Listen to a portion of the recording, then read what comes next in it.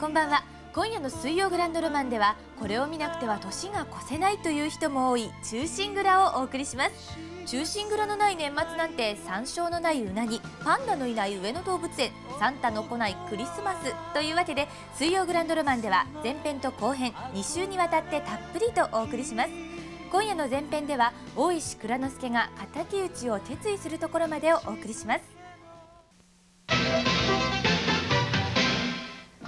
こんばんは。皆さん今日は何の日かご存知ですか？時は元禄15年といえばそうです。286年前の今日キラテ討ち入りが行われたんです。この後の水曜グランドロマンは先週に引き続き中心蔵の後編です。蔵之介が討ち入りを決意12月14日の討ち入りの日を迎えるまでをお送りします。今夜は赤穂浪士四十七士を忍びながらどうぞじっくりとご覧ください。